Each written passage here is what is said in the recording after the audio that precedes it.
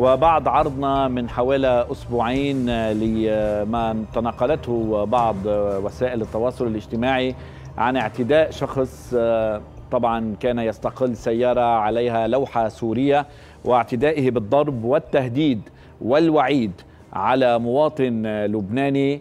رح نرجع نشوف الصور عن جديد وهدده قائلا له أنا بشتغل بالسفارة السورية وإذا ورح وديك بمطرح ما حدا يحظى فيك مما اثار رعب هذا المواطن وتدخل بعض عناصر أمنية لفض الخلاف وإنقاذه من من يديه.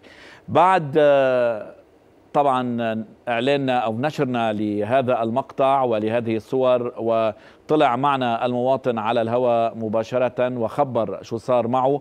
أه وصلنا رد من السفارة السورية في بيروت.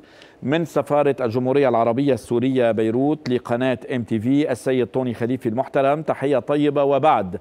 إشارة إلى التقرير الوارد في برنامجكم 1544 بتاريخ 9 3 2015 حول تداول مواقع التواصل الاجتماعي لصور وخبر تعرض مواطن لبناني إلى التهديد من قبل شخص ادعى بأنه موظف في السفارة السورية.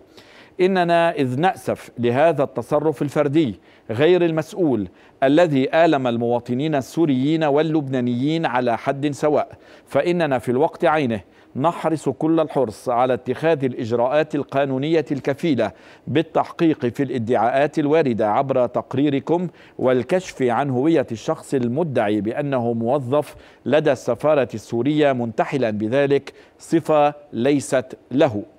وعليه تقدمت سفارة الجمهورية العربية السورية بشكوى أمام النيابة العامة الاستئنافية في جبل لبنان سجلت تحت رقم 10532 لإجراء تحقيق بالواقعة والادعاء على كل من يثبت تورطه بجرم انتحال صفة موظف في السفارة السورية والإساءة إلى العاملين فيها. وللتوضيح نود أن نلفت عنايتكم إلى أن السيارات الدبلوماسية التابعة لمختلف السفارات المعتمدة في لبنان ومنها سيارات السفارة السورية تحمل لوحات دبلوماسية لبنانية ذات لون أصفر كما أن جميع العاملين المحليين في السفارة من غير الدبلوماسيين يقودون سياراتهم الخاصة ذات اللوحات اللبنانية إذ لا توجد سيارة لأي من موظفي السفارة أو العاملين لديها تحمل لوحة سورية.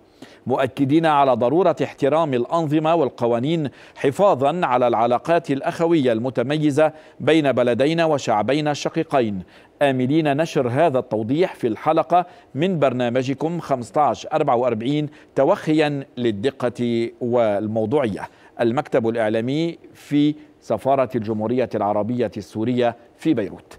إذا هذا هو الرد على ما ورد في برنامجنا ونحن إذ نحترم ونقدر هذا الرد وهذا التضامن من أجل كشف الحقائق خصوصا إذا كان هناك من ينتحل صفة موظف أو دبلوماسي في السفارة السورية وهو ليس كذلك. وكنت أتمنى أن تؤخذ اللوحة الموجودة على السيارة السورية التي كان يستقلها هذا المواطن الذي طبعا توجه بالتهديد والوعيد إلى المواطن اللبناني وبالشتائم ومن خلال لوحة هذه السيارة يمكن للسفارة السورية طبعا خصوصا أن اللوحة هي لوحة سورية أن يتعرفوا على صاحب أو على هوية صاحب هذه السيارة ومن كان يقودها. شكرا.